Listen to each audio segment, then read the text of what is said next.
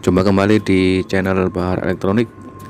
Oke next video kali ini kita akan belajar ya cara untuk mengecek MOSFET ya. MOSFET ini adalah hampir sama dengan transistor ya.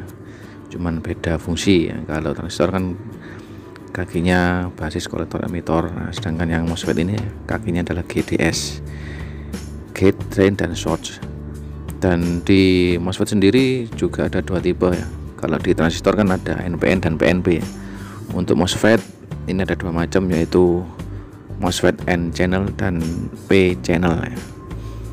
kebetulan yang saya cek ini nanti adalah jenis MOSFET N channel ya. Jadi kalau untuk ngecek yang MOSFET P channel kita tinggal membalik posisi probe-nya saja. Jadi eh, cara ngeceknya tinggal balik Berarti ada dua jenis ya untuk MOSFET yaitu MOSFET P channel dan N channel. Ya, di sini ada tiga kaki ya sama dengan transistor, cuman beda penyebutan. Kalau di MOSFET ini kakinya adalah GDS ya, di mana G adalah gate, D adalah drain, S adalah source ya. Jadi otomatis untuk cara ngeceknya juga beda dengan transistor. Di sini kita gunakan avometer analog ya untuk mengecek MOSFET. Saya sarankan ya, saya anjurkan untuk menggunakan avometer analog ya, jenis analog saja agar pengecekannya lebih mudah dan gampang ya. Kalau menggunakan avometer digital juga bisa, cuman uh, kurang ya kurang akurat ya kalau saya karena berupa angka. Jadi kalau analog kita enak untuk melihat uh, gerakan dari jarum avometer ya sebagai buat patokan Oke pertama kita set dulu di skala X10 set di skala X10 kita nolkan dulu untuk jarumnya. Kita kalibrasi kita nolkan dulu. Supaya hasil pengecekannya bisa akurat. Nah di sini ada dua cara ya. Ada dua cara untuk cek MOSFET ya. Jadi anda bisa pakai cara pertama atau kedua. Ini cara pertama.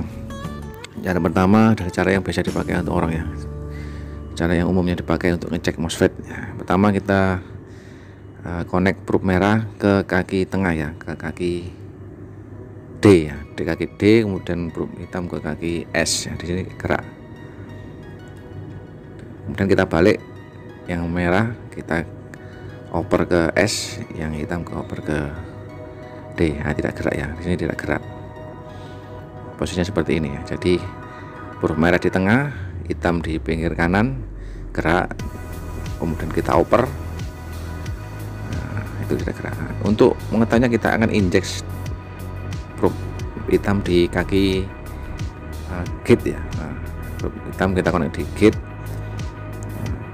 Kemudian kembali ke S lagi. Lah sini yang tadinya posisi probe merah di kaki S yang tadi yang tidak gerak sekarang menjadi gerak ya. Jadi keduanya gerak bolak-balik menjadi gerak. Yang tadinya kan gerak kemudian tidak gerak. Ya ini semuanya keduanya gerak. Nah, untuk menghilangkannya kita connect kaki merah probe merah di gate kemudian kita balikkan ke S ya. Tidak tidak connect lagi. Nah, seperti itu ya. Nah posisinya tidak connect ya. Tadi kan connect setelah kita umpan kaki kitnya. Oke ini cara kedua ya. Cara kedua ini cara cara saya ya. Cara saya yang paling gampang menurut saya. Tadi kan agak sedikit bingung ya. Cara saya yang paling gampang adalah nah seperti tadi ya kita bolak-balik di kaki drain dan short ya. Nah, kita konek seperti ini kemudian kita tukar langsung keduanya. Nah jadi kita pindah probe merah dan probe hitamnya secara langsung ya. Nah untuk menghilangkannya adalah seperti ini nah probe merah kita konekkan ke gate kemudian kembali ke S ya. Nah sudah tidak connect ya. Sudah sambung nanti seperti itu caranya ya. Caranya adalah seperti ini. Nah ini posisi seperti ini kemudian kita balik. Nah ini kan tidak connect. Nah ini kita pindah kedua probe nya ke kaki G dan D. Nah seperti ini. Kemudian kembali lagi ke seperti ini.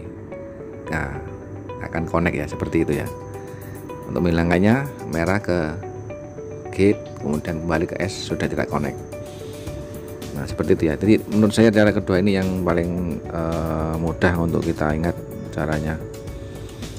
Kemudian ini ada beberapa contoh dari MOSFET yang rusak ya. Jadi contoh MOSFET yang rusak yang tadi kan eh, kaki drain dan shorts ini posisinya probe merah di tengah dan probe hitam di kaki shorts ini kan nyambung ya. Kemudian kita balik nggak nyambung. Ini ke bolak balik nyambung. Nah ini berarti kondisi MOSFETnya short kemudian di kaki gate kita coba cek juga langsung short ya. Harusnya kan tidak nyambung. Kalau kita bandingkan dengan yang ini kan nah seperti ini kan tidak nyambung dia posisinya. Tidak nyambung. Kemudian di kaki gate nya juga tidak nyambung sebelum kita konekkan nah di sini semua kakinya terhubung ya. Jadi ini jenis MOSFET yang rusak short. Kemudian ada satu jenis lagi uh, MOSFET yang kerusakan di bagian gate-nya ya di bagian gate-nya. Jadi drain dan short-nya ini seperti normal. Sepertinya normal seperti MOSFET yang masih normal. Tapi kaki gate-nya sudah connect. Nah ini harusnya tidak boleh connect ini kaki gate-nya sudah connect. Berarti ini kedua-duanya juga rusak ya jadi untuk mengetahui itu tadi ya jadi kita ulang lagi ya. Seperti ini untuk cara ceknya. Uh, agar kita bisa mengetahui uh, MOSFET ini bisa bekerja atau tidak ya. Oke ini cara yang kedua tadi ya kita ulang lagi. Kaki ya huruf merah seperti ini ya caranya ya. Huruf merah kita di tengah kemudian huruf hitam di pinggir kanan ya seperti ini. Nah, kemudian kita balik. Nah, kita balik seperti ini. Kita balik huruf hitam di tengah huruf merah di pinggir kanan. Nah seperti ini. Terus kita balik. Ya kita balik seperti ini. Huruf hitam di tengah huruf merah di kaki S. Tidak nyambung. Kita pindah ke dononya di kaki gate dan drain ya seperti ini. Kembali lagi kembali ke D dan S connect ya seperti ini. Tadi tadinya connect sekarang menjadi connect. Untuk menghilangkannya pindah perut merah ke gate pindah lagi ke S sudah tidak connect ya. Berarti itu tadi tadinya connect menjadi tidak connect seperti itu caranya. Jadi untuk mengetahui uh, posisi MOSFET-nya masih bekerja normal atau tidak ya seperti itu. Ini kemarin kan uh, ada beberapa kerusakan di televisi ya ada beberapa MOSFET yang mungkin MOSFET dari jenis power supply dan MOSFET di bagian rangkaian sirkuit EW di televisi ini kadang sangat membingungkan untuk mengecek MOSFET ini. Caranya gimana sih? Uh, itu untuk cara mengeceknya jadi ini berlaku untuk semua MOSFET ya semua MOSFET jenis MOSFET. Uh, semua tipe. Tinggal kita lihat ini apakah jenis MOSFET N channel atau P channel ya. Jadi kalau kita mau uh, yang kita cek ini adalah jenis MOSFET N channel. Nanti untuk untuk P channel jadi kita tinggal uh, merubah posisi kaki probe-nya aja yang tadinya probe merah kita tinggal ganti ke, ke probe hitam gitu aja. Jadi sama ini berlaku untuk pengecekan semua MOSFET semua tipe. Tinggal kita lihat apakah jenis MOSFET yang N channel atau P channel nah begitulah untuk cara cek MOSFET. Nah kali ini ya mungkin agak sedikit membingungkan ya. Karena memang caranya seperti itu jadi beda dengan transistor ya. Sih Anda bisa simak pelan-pelan uh, langkah demi langkah di video awal tadi ya. Ada dua cara cara pertama dan cara kedua. Jadi kalau misalkan uh, bisa lebih mudahnya anda bisa pilih cara pertama kedua. Kalau saya pribadi mending pakai cara kedua yang lebih mudah dan gampang untuk cara ngeceknya. Oke terima kasih atas perhatiannya. Semoga bermanfaat